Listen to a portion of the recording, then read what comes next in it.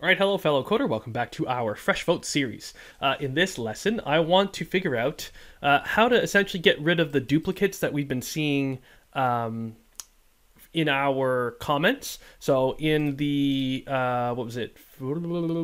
Comment controller? Yeah, uh, in the comment controller, we are getting. Um, uh, comments by feature ID. So we're getting all the comments that are put into or that been posted into a particular feature request.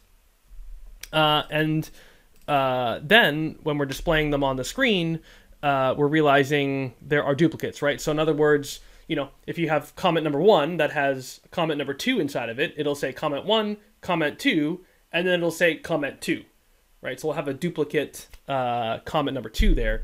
So we need to figure out how to structure that. And and like I was saying in the previous lesson, I, I want to see if I can do that um, based on I, I want to see if I can filter out the duplicate such that it doesn't appear uh, further down. So, you know, comment number two, if it's a child of comment number one, that should never become a parent somewhere else. So, in other words, as soon as we see it, that's probably an indication that it shouldn't happen again. So, I thought there was a way to do that. So, I basically tried to, I just wrote this this Google statement here. Well, Ecosia statement because I'm planting trees with my searches. Uh, FasterXML JSON, JSON remove duplicate objects based on ID. Uh, so let's. I haven't looked at any of these responses yet. So, um, Android? No, probably. No, that's not what I want. Deserialize JSON array that contain two objects. No, it doesn't sound right. Uh, the import. I cannot import. No, optional property, da, da, da, remove duplicate text value. So kind of, I don't want to remove duplicate text. I want to remove an entire object. Ability to skip duplicate module. I wonder if I can completed refa complete refactoring of type ID serialization. Ignore new fields. So I feel like I might need to change my search string or flip over to actually use Google. Sometimes Ecosia doesn't deserialize that contain two objects of the same. So yeah, that's kind of sort of what I'm getting at. Oh, this is coming from GitHub, so this looks like it's an issue or whatever. Um, already had Pojo. So this is kind. I think this is sort of what I'm talking about. How can I deserialize an array with two objects that contain that contains the same sub object?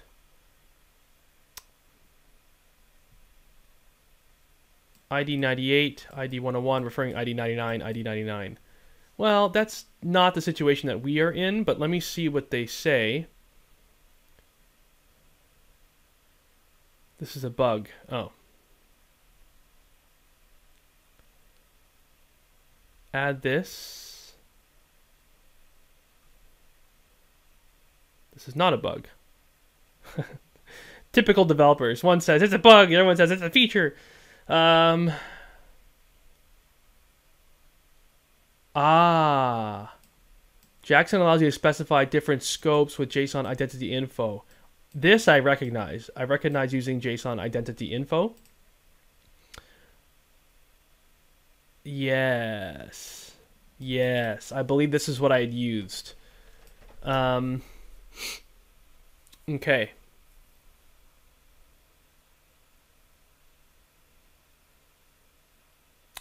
Scope owner scope user scope?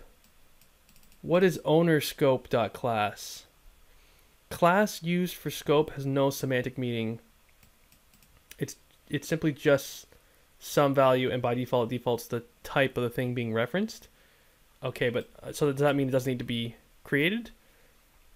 Okay so let me look up json identity identity info. Oops. Json identity info example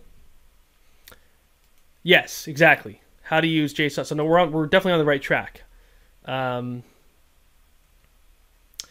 it seems Jackson whatever has a subset of Jackson features must not make the cut. If you can use a full uh, library, just use standard object mapper with. So yeah, I remember doing it on the whole class. Right. Yes. Okay. I think this is what I did. It's all coming back to me now. So for the uh, for all of the uh, child objects that we're talking about, uh, so on the comment itself, we should have a JSON identity info, Control Shift O to, to import everything, and then on the user we should have it. On feature we should have it. I think if I remember correctly, I had this on pretty much all of my entities um, that are being uh, you know serialized and sent into uh, uh, JSON format. Uh, I believe this is this is what what I did to make it work. Uh, oops. Let me run it in debug mode. Da, da, da, so let's have a look and see. So in our front end, uh, we're, yeah, we're gonna output the comment text. Fine. So basically, if things work properly, um, let me. What was my Select star from comment. What was my structure here? So they're all in feature ID 1. Two of the comments are nested ones. So essentially, if all if everything goes well, we should only see... Uh, technically, we should only see test comment and test comment number 4. Technically. Uh, because the other two should be nested inside of test comment and my code is only showing i'm only asking my code to show the root level like the, the the ones that are directly tied to a feature. So if all goes well we should only see um, test comment and test comment number four. But let's see what we actually see. Log in uh, view the feature requests feature request number one. So yeah it doesn't seem like it's working properly because i see test comment two three N4 here.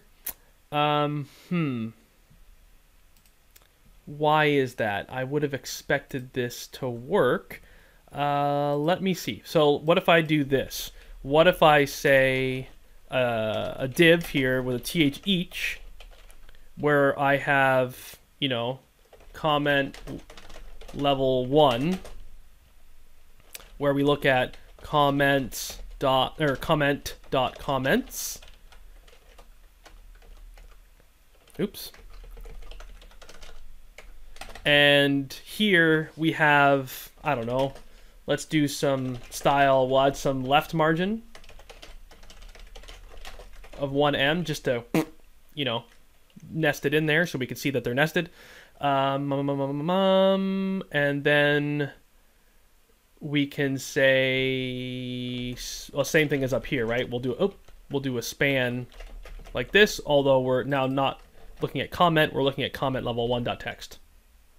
Okay, so basically, yeah, so you see what's happening? You see this gives a much better visualization of the duplicate situation that we're looking at, right? So we see test comment that has two nested.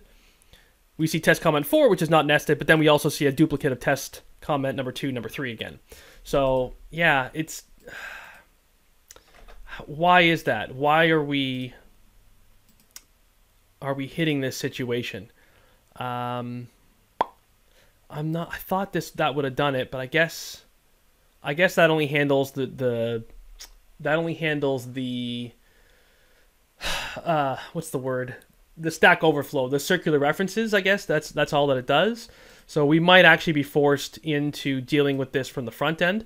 So let's look at the. So this comments is from the feature controller. So when we look at a feature, we do a get mapping and we put the comments onto the model here. Well, we do a feature.get comments, right? Does that make any difference between that and the comment controller? Comment repo find by feature ID. I don't think it would make a difference. You know, six of one, half dozen of the other in terms of how we're we're fetching the stuff, I believe. Um, hmm. So yeah, we're gonna have to have some sort of code in here to handle this situation. So I think at least we solved the the the circular reference problem because I think we would have gotten a Stack Overflow exception with the code that I wrote. Uh, so yeah, I guess we're gonna have to handle this. I mean, the the other. So here's my other thought. The other way to handle it is on the front end. We could say, you know, this we can have a th if here that says you know, comment dot what feature ID is not null, essentially, right? Oh, that's didn't like that. Comment, is it not feature ID? What's it called? Feature. If feature is not null, uh, didn't work. I guess it is not null. I, is feature, why would it not be null? oh, sorry, feature ID. Sorry, comment ID. If sorry, comment. oh, Trevor, that's all right. Uh, so if the comments comment dot comments, although I can't, I don't know if we can say not null because that might still not work properly. Let's let's just have let's first see if that works. No, so it still has all of them. Um, so what we want to do here is we want to use I think it's lists dot is empty is the uh, helper method for Thymeleaf to check and see if, uh, well, the list isn't empty. Let's see if that works. No, what's the, uh, might just be list. I can never remember. I need to Google this. Or is it lists lowercase? Lowercase lists? There we go. So, okay, a little bit kind of closer, but kind of funky. So that's not the result I was expecting. Uh, is it backwards? Maybe it's backwards. Uh, Yes, sorry, not empty. I forgot the not. So if the lists, if the comments is not empty, then we should output it here. Is that right? Yeah, there you go. So that's so that looks good, right? That's sort of what we were expecting, except I was also expecting to see test comment number four. Why? Right? Because test comment number four. What am I? What am I doing? comments. No, actually, that's not that that that logic is is not correct. So let me take a minute and think before I code. What am I trying to accomplish here? Right? I'm trying to say, get me, show me for the first level comments, the ones that um, belong directly to the root, which yeah is the ones that belong directly to the root of the feature do not have comment IDs. So this should be comment ID list. The comment ID value is null, right? But how do we reference comment ID? So how do we look at comment ID being null?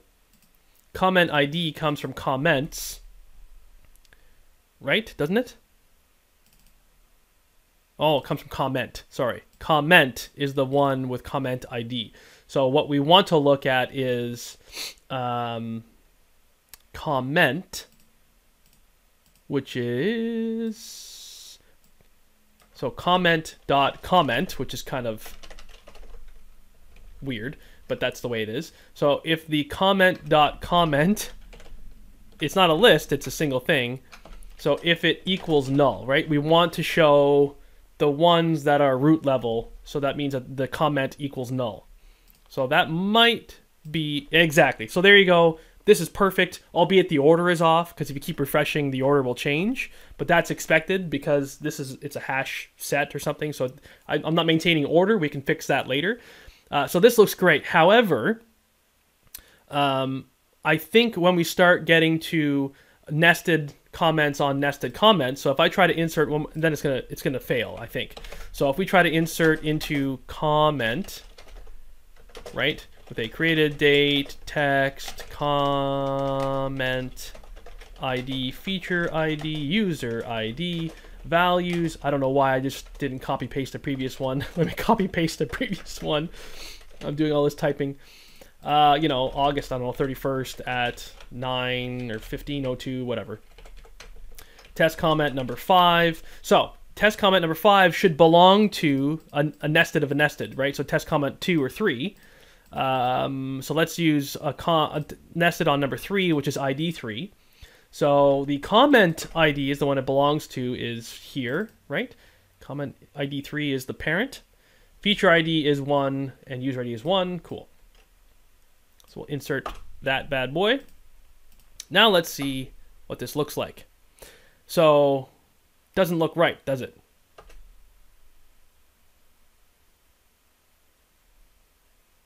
definitely doesn't look right. So comment number five should belong to which one? Comment number five belongs to comment number three, which belongs to comment number one. So it should be nested inside of a nested inside of a nested. And the reason why we're seeing it like this is I, I don't have a third level nesting here. So this is where, you know, we're, we're going to have to solve that problem. That's a whole other problem that we need to solve as well is how are we going to solve the nesting of the nesting of the nesting? Right? Because here we can have comment level two is comment level one comments with a more style margin left where comment level two text, right? So then you see what's going on. So you see this structure is correct, right? We have test comment that has test comment 2 and test comment 3, and test comment 5 is a nested one of test comment 3. So this is correct, except test comment 5 appears again, and this is the duplicate situation. So although it looks visually like test comment 5 belongs to test comment 4 here, that's actually a, a bit of a misnomer. Um, it's it's just getting extra, it's getting some extra left margin um, accidentally somehow. Um, so again, we're not solving the duplicate problem here. It looked like we solved it because we added this, but there's another solution. So there's two problems we need to solve. The first is we still need to figure out how to get rid of uh, the duplicates that are being sent back in our list. So we're going to have to have a brainstorming session to do that. Um, and then the second problem is this nesting of a nested of a nested of a nested. We could just keep on writing this code over and over. So we need to think of a way to do this such that there's no limit to the number of nested comments we could have right? There's got to be a way to solve that problem, right? I, don't believe that the solution is to just manually code it in and to have a hard coded uh, solu- uh, situation here where we have to, there, there is a hard limit on the number of nested comments that we can leave, right? Maybe, maybe there is. Maybe that is the way all the commenting systems in the world are designed.